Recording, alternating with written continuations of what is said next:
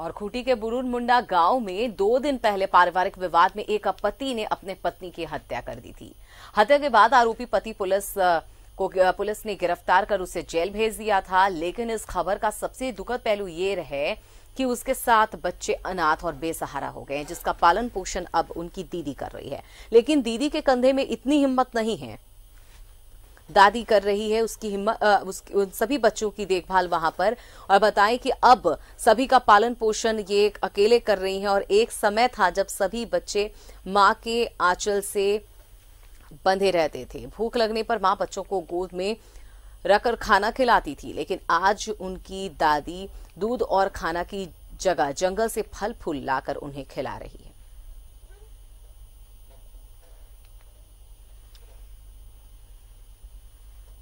तो फल फूल ये बच्चे खा रहे हैं। जंगल से इनकी दादी जो है, इनके लिए फल फूल का इंतज़ाम करती है।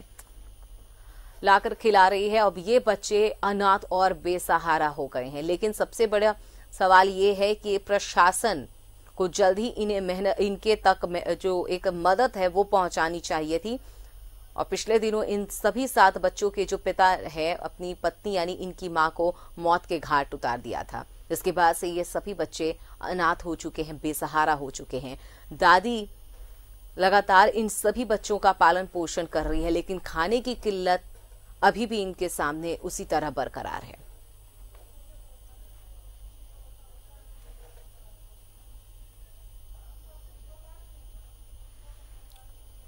तो ये नन्हे छोटे छोटे बच्चे दर दर को भटकने को मजबूर है। आर्थिक स्थिति सही नहीं है, खाने की किल्लत है, ऐसे में इनकी दादी जो है, वो जंगल में जा जाकर फल फूल लाकर इन्हें खिला रही हैं। इस तरह से इनका जीवन गुजर बसर हो रहा है। घर में कोई भी ऐसा व्यक्ति नहीं है जो कमाता हो। और ऐसे में इन सभी के सामने खाने के लाले पड़ गए हालाँकि प्रशासन की तरफ़ से क्या कुछ मदद किया गया है, ये देखने वाली बात होगी कि कब तक प्रशासन इनकी तरफ़ अपने मदद के हाथ पहुंचाता है।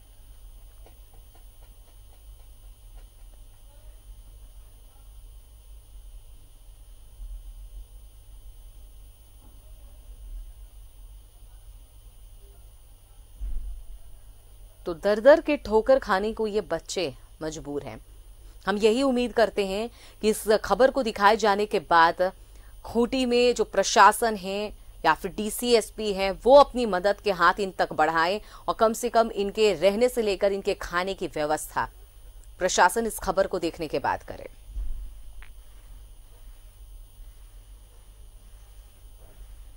और इस पर ज़्यादा जानकारी के लिए संवाददाता खूटी से हमारे साथ ज्योत्सना बनी हुई है। ज्योत्सना, ये सातों के सातों बच्चे बेघर हो गए हैं, इनके अनाथ हो गए हैं। ऐसे में तस्वीरें देखकर यही समझ आ रहा है कि बहुत ही दर दर की ठोकरें इन्हें खानी पड़ रही है, खाने पीने की किल्लत है इनके सामने। ऐसे में इनका गुजर बसर इतना कठिन है तो प्रशासन क्या कर रहा है इनके लिए वहाँ पर? जी अमिता मैं आपको बता दूँ ये घटना तो बहुत ही दर्दनाक है। जी। और साथ जो बच्चे हैं वो बिल्कुल छोटे छोटे बच्चे हैं वो अबोध बच्चे हैं। कई बच्चों को तो ये जानकारी तक नहीं होगी कि उनकी माँ का साया उनके सर से उठ चुका है। पिता उनके जेल में है और दादी के साथ उनको रहना पड़ रहा है। ये बच्चों को जानकारी भी नहीं होगी लेकिन इसके बावजूद वहाँ जितने भी जो भी उसके घर के हैं अब एकमात्र जो उसकी दादी है वही उन बच्चों का रख रखाव लालन पालन कर रही है। थोड़ी राहत के तौर पर बाल संरक्षण समिति के कुछ लोग गए थे और भाजपा के कुछ लोग गए थे और उन्हें फौरी राहत दिलाने के लिए चावल, अनाज, दूध, सोलर लाइट और तेल, साबुन वगैरह मुहैया कराए हैं। लेकिन अब तक जो शासन को जाना चाहिए क्योंकि मामला जितना बड़ा है और जिस तरह से गंभीर मामला है तो इसको लेकर जिला प्रशासन को खुद ही पहल करना चाहिए था। ये अब तक नहीं हुआ है अमिता। और जो इलाका है, वो इलाका पूरी तरह से प्रखंड मुख्यालय, जिला मुख्यालय से कटा हुआ एक तरह से है, क्योंकि वहाँ तक जाने के लिए तरीके से रास्ता भी नहीं बना हुआ है। लगभग एक किलोमीटर तक आपको एकदम चढ़ान है, जो पहाड़ी नुमा जगह है, वो बहुत ऊंचाई में है और वहाँ तो बहुत मुश्किल से ही लोग चल पाते हैं। तो ऐसे में वहाँ तक अभी जो प्रशासन को भी जिस तरह से मामला गंभीर है तो खुद पहल करनी चाहिए, वो अब तक नहीं हो पाई है, अमिता। चलिए, तमाम जानकारी के लिए बहुत बहुत शुक्रिया, ज्योत्सना। तो प्रशासन ने अपनी तरफ़ से अभी पहल नहीं की है, हालाँकि इस घटना के लंबा समय हो चुका है। इन बच्चों के सर से उनकी माता का साया उठ चुका है, वहीं इनके पिता जो हैं, वो जेल में बंद है। अब इन सातों बच्चों का जो पालन पोषण है, उनकी दादी कर रही है। लेकिन सवाल ये है कि जब इन्हें दर दर की ठोकरें खाने पड़ रही हैं तो आखिर प्रशासन कहाँ है? उम्मीद करते हैं कि जिस तरह से हम खबरों को प्राथमिकता के साथ दिखा रहे हैं, प्रशासन भी अपनी प्राथमिकताओं को समझते हुए अपने दायित्वों का निर्वहन कर करे और जल्द से जल्द इन बच्चों तक कोई मदद पहुँचाए।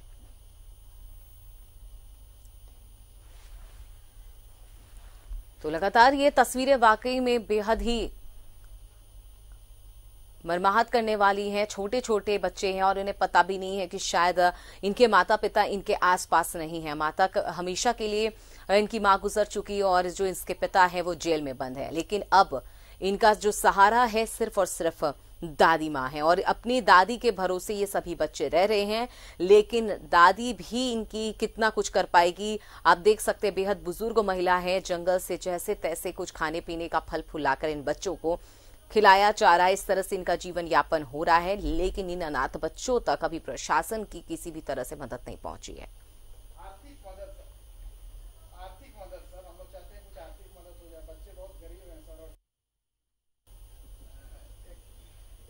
छोटा सा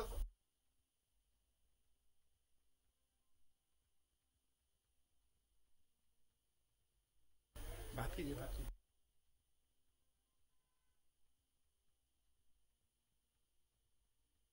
इस पर ज़्यादा जानकारी के लिए हमारे पास हमारे साथ बने हुए हैं। एसडीपीओ उनसे बात कर लेते हैं। सर ये जानना चाह रहे हैं कि यहाँ पर ये सारे जो बच्चे हैं इनकी माता का साया इनसे उठ चुका है इनके सर से। ऐसे में ये सातों बच्चे अनाथ हो चुके हैं। इनके खाने पीने की व्यवस्था नहीं है वहाँ पर। अभी तक प्रशासन ने इसकी कोई मदद नहीं की है लेकिन अब आप लोग किस तरह से इनको मदद पहुंचाएँगे? हम लोग कुछ उनको आर्थिक मदद कर रहे हैं और वीडियो साहब से भी बात करके प्रशासन से उनको मदद कराई जा रही है। किस तरह की मदद अभी आर्थिक मदद किया है सर आप लोगों ने? आर्थिक मदद हम लोग दे रहे हैं, कुछ पैसा दे रहे हैं। लेकिन सर, ये अभी ज़रूरत है कि इनके खाने पीने की व्यवस्था पहले कर दी जाए, क्योंकि ये बच्चे जैसा कि हम तस्वीरों में देख रहे हैं, अबोध है, ना बोल सकते हैं, और बुज़ुर्ग दादी के सहारे ये पल रहे हैं। तो आर्थिक मदद के साथ साथ इन तक अनाज भी पहुँचाया जाना चाहिए, क्योंकि हमने देखा है लॉकडाउन के दौरान कई ऐसे गरीब परिवार तक अनाज भी पहुँचाए जा रहे हैं। मुझे लगता है कि ये पहल कर दी, कर देनी चाहिए थी बहुत पहले ही प्रशासन को। देखिए उसके लिए प्रयास किया जा रहा है। हम लोग संपर्क कर रहे हैं वीडियो के पास। हम लोग के पास तो उस तरह का ये कुछ है नहीं। जी। ये हम लोग उसमें प्रयास कर रहे हैं उसके लिए। कब तक सर आप लोग वहाँ पर पहुँचेंगे? कब तक पूरे हालात का जायजा लेंगे? पहुँचेंगे मतलब? वहाँ पर आप लोग उस परिवार के पास कब तक आप लोग जाएँगे उनसे मिलेंगे? क्योंकि जाना तो ज़रूरी है उन तक मदद पहुंचाना ज़रूरी है ना? हम्म। लेकिन इसमें लापरवाही समझ आती है सर क्योंकि काफ़ी दिन हो चुके हैं मामला चार पाँच दिनों से ज़्यादा पहले का है। अब तक तो प्रशासन को वहाँ मदद पहुँचा देनी चाहिए थी। आप ये बताइए कि इसके लिए आपके जो सक्षम पदाधिकारी उनसे बात कीजिए। हम लोग इसमें कैसे करेंगे? बात तो आप तक पहुँच गई है ना आपको तो वहाँ तक बात आप ही को पहुंचाना है। किसको पहुंचाना है बताइए। आपने बताया ना कि वो अपर अधिकारियों को ऊँचे अधिकारियों तक बात पहुंचानी है हमें उनसे बात करनी चाहिए। आप भी उसी सिस्टम के एक कड़ी है, सर। आपको ये बातें अगर आपके संज्ञान में है तो ये बात तो आपको भी ऊपर तक पहुँचानी होगी ना। आप आप ये बताइए, आप कौन है? कहाँ से बोल रहे हैं? ये तो क्लियर कीजिए। सर बड़ी अजीब बात है कि आप न्यूज़ 11 के स्क्रीन पर हैं अभी। आप हमसे लाइव बात कर रहे हैं और आपको अब तक ये नहीं पता है कि आप किससे बात कर रहे हैं। लापरवाही यहीं पे दिख जाती है सर कि आप लोग कितने आसानी से हर चीज़ को नजरअंदाज करते हैं और ये खबर पे हम भी यही उम्मीद कर रहे हैं कि आप कोशिश करें कि इन तक मदद पहुँचाए लेकिन अब तक अभी तक आप बात ही नहीं समझ पा रहे हैं कि हम आपसे क्या सवाल कर रहे हैं और उसका आप क्या जवाब दे रहे हैं। देखिए आवाज़ आवाज़ बहुत साफ़ नहीं आ पा रही। तो एसडीपीओ थे ये रनिया के जिनसे हम बात कर रहे थे, अब तक वो ये नहीं समझ पा रहे हैं कि वो किन से बात कर रहे हैं, जबकि न्यूज़ इलेवन भारत की स्क्रीन पे लगातार वो हमसे बात करते नज़र आए, मदद पहुँचाने की भी बात उन्होंने कही। खैर, लापरवाही ही इसे कहेंगे, क्योंकि अब तक काफ़ी समय बीत चुका है, प्रशासन की तरफ़ से किसी भी तरह के सहयोग नहीं पहुँचे हैं, और इसे सिस्टम की लापरवाही कहें या फिर सिस्टम कहीं ना कहीं यहाँ पर कमज़ोर है वो साफ़ तौर पर दिख रहा है, लेकिन उम्मीद करते हैं कि न्यूज़ इलेवन भारत ने जितनी प्राथमिकता से इस खबर को दिखाई है, उसके बाद प्रशासन भी उतनी ही तत्परता से अपने काम करे और इन तक अपने मदद पहुँचाए।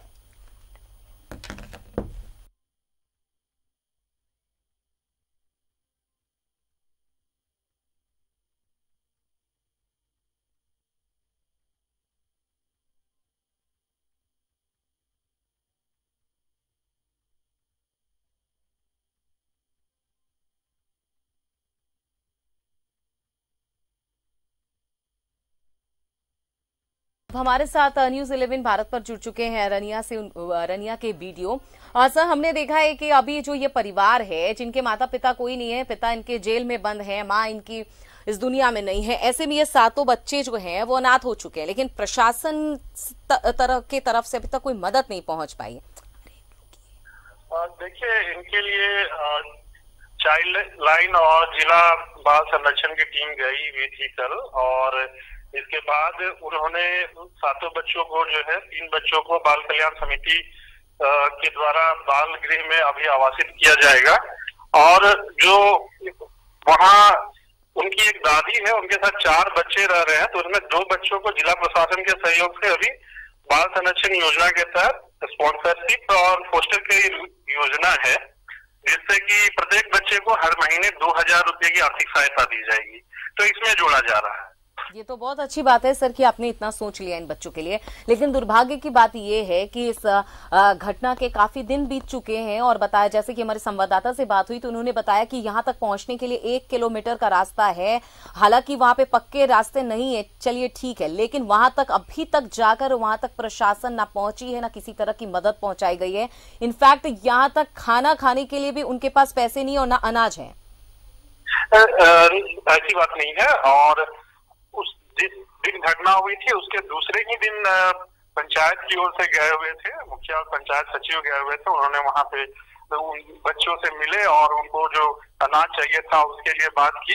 उनको पहले से ऑलरेडी मिल रहा है अनाज और दूसरी बात ये कि आज फिर भी वहाँ पे लोग गए हैं, केवल उस परिवार नहीं, बल्कि वहाँ पे लगभग पंद्रह बीस परिवार हैं, जिनको कि अगर किसी और योजना से अगर रह गए हैं, जैसे पेंशन योजना और मनरेगा से संबंधित योजना से लिंक होने से अगर रह गए हैं तो आज उसके लिए ब्लॉक से टीम जा रही है जो कि उनको जोड़ेगी। केवल उनको नहीं, बल्कि वहाँ के जो पंद्रह बीस परिवार रहते हैं, जो बहुत दुर्गम जगह है और पहाड़ी के ऊपर है, वहाँ पर ये काम करेंगे। इसके अलावा एक ये भी असेस करेंगे कि वहाँ पे जो पेयजल वगैरह की समस्या जो है, उसके समाधान के लिए कौन सी योजना सुटेबल होगी और उसके बात हम लोग लगता सर कि इतना ये बहुत अच्छी बात है कि आप इतना सोच रहे हैं इन सब के लिए। हालाँकि बहुत पहले सोच लेना चाहिए था क्योंकि समस्या तो तस्वीरों में आप देखेंगे खुद ही तो आपको समझ आ जाएगा कि बहुत ज़्यादा समस्या है यहाँ पे। प्रॉब्लम्स बहुत ज़्यादा है। लेकिन ये योजना खोजते हुए इनको नौकरी तक इनको क्या रोज़गार दिया जाएगा? छोटे छोटे बच्चे हैं उसकी दादी को क्या नौकरी मिलेगी? ये सारी चीज़ की पहल करते करते आपको नहीं लगता कि एक लंबा समय गुजर जाएगा? क्योंकि अब तक तो इनके पास किसी भी तरह की सहायता नहीं पहुँची है जो हमारे पास सूचना आ रही है। नहीं नहीं उनके लिए सहायता पहले पहुँची हुई है ये तो एक कुछ दिन पहले की घटना है जबकि ये घटना हो गई ये वही पर्सनल झगड़े के कारण एक दूसरे की जो भी घटना हुई है इसके बाद वैसे भी वो अति दुर्गम क्षेत्र के अंदर में आता है पहाड़ी के ऊपर वाले क्षेत्र में आता है बहुत ज़्यादा एक्सेसिबल जगह नहीं है बावजूद इसके हम लोगों ने प्रयास पहले भी रोड बनाने का वो एसेस कर लिया था और उसके बाद उस पर हम लोगों ने जिला के स्तर से भी प्रयास किया हुआ था, वहाँ पे रोड अभी बन रहा है। आगे कुछ जो रह गए हैं, मैम तो उसके लिए हम लोग प्रयास अभी भी कर रहे हैं, आगे भी करेंगे। लेकिन नहीं लगता, सर, कि सिस्टम कहीं ना कहीं कमज़ोर पड़ जाता है ऐसे मामलों में? जब त्वरित कार्रवाई करनी चाहिए तो तुरंत सहायता पहुंचानी चाहिए। वैसे में एक न्यूज़ चैनल के माध्यम से हमें इतनी प्राथमिकता के साथ खबर दिखानी पड़ती है, लेकिन ये प्राथमिकता सिस्टम क्यों नहीं कभी समझ पाती? मैम, हम लोगों ने अपने स्तर से काफ़ी प्रयास किया हुआ है। मे बी अगर ऐसा होता है, कहीं पे अगर इस तरीके का लूप होल्स मिल जाता है तो आप लोगों को भी बधाई कि आप लोग बताते हैं एसेस करते हैं, हम लोग वहाँ पे पहुँच जाते हैं। कई जगह ऐसे दुर्गम क्षेत्र है जहाँ पे की मे भी हो सकता है कि कुछ इस तरीके का लैक्स हो जाते हैं, लेकिन हम लोग अपने स्तर से जितने भी सिस्टम में जो लोग हैं, वो सारे प्रयास करते हैं और कोशिश करते हैं कि वो प्रॉब्लम तक पहुँच जाए और जितनी जल्दी हो सके हम लोग उसको एसेस करके उसका निराकरण कर चलिए हम भी उम्मीद यही करते हैं कि किसी हर तरह से इन तक मदद पहुँचाया जाए आपकी तरफ़ से क्योंकि हम भी लगातार इस खबर को इतनी प्राथमिकता के साथ दिखा रहे हैं। हमसे बात करने के लिए बहुत बहुत शुक्रिया। तो हालाँकि अब प्रशासन जो है लगातार कह रही है कि हमने मदद पहुँचाया है, लेकिन जो तस्वीरें हम आपको दिखा रहे हैं, वो उस मदद से बहुत दूर दूर तक परे है। किसी तरह का कोई सहयोग इनको नहीं मिला है।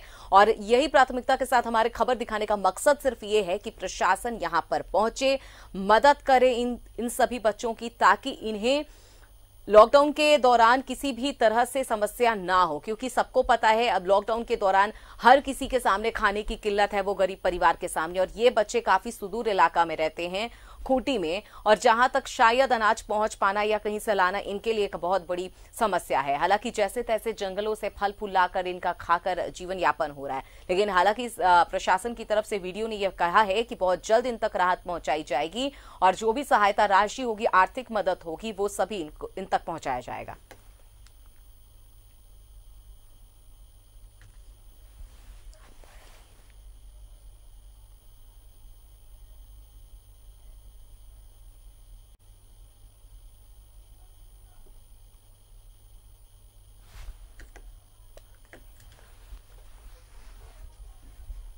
तो अनाथ और बेसहारा हुए हैं ये सभी बच्चे। आपको बता दें कि दर दर ठोकर खाने को ये मजबूर हैं।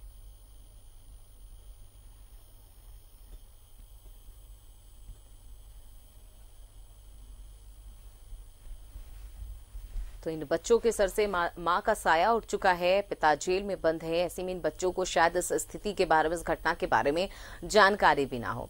लेकिन इन सबके भी सवाल ये है कि ये सभी बच्चे, जो मासूम बच्चे हैं ये सातों अनाथ हो गए हैं, बेसहारा हो गए हैं और इनके सामने अब भुखमरी की नौबत आ गई है। हालाँकि सिस्टम ने, जिला प्रशासन ने ये ज़रूर भरोसा दिलाया है कि इन तक मदद पहुंचाई जाएगी, लेकिन हम भी उम्मीद करते हैं और देखना चाहेंगे कि कब तक प्रशासन अपने मदद के लिए इन तक हाथ बढ़ाता है।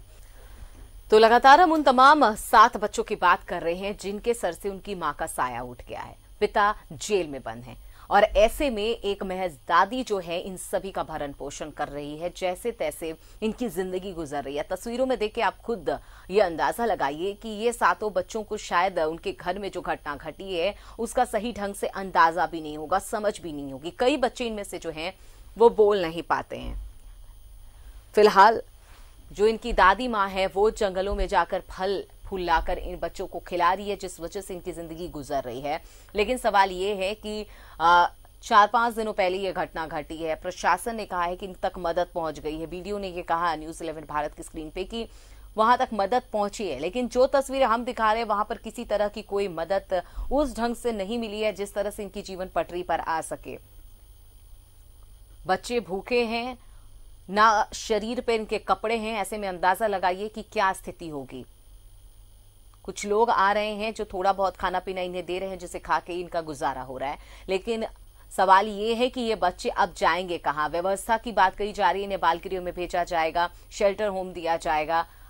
लेकिन ये काफ़ी छोटे बच्चे हैं, शायद परिवार से दूर करना भी सही ना हो। लेकिन मुकम्मल जो व्यवस्था है, जो आर्थिक मदद है, अगर वक्त रहते इन तक पहुँचा दिया जाए तो शायद इनकी स्थिति में सुधार देखने को मिल सकती है।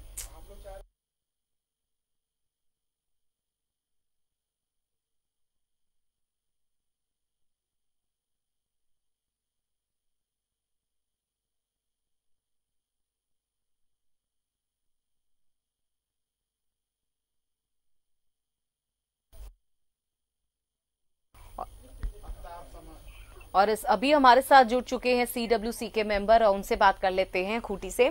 आ, सर ये बताइए जिस तरह से ये जो बच्चे हैं अनाथ हो गए इनके घर में जो घटना घटी है उसके बाद से इनके लिए क्या मुकम्मल व्यवस्था आप लोग करवा रहे हैं इन बच्चों के लिए?